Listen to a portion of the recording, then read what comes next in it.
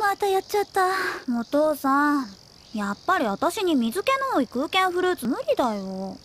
無理だと避けていてはいつまでたっても上達しないよ。何ライズは手先が器用だしあと45年も寒気も迫る。